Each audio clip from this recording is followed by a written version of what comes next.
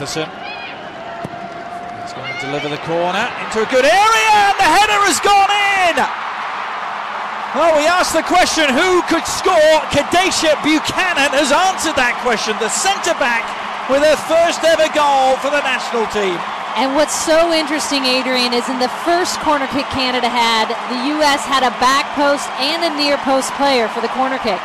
They pulled someone off the back post in that first corner kick and did the same for this. So you can see that back post. If there is a player on that post, and if I'm coaching a team, I have two players at all times on that back post, and that's just Buchanan going up hard, putting a nice one down.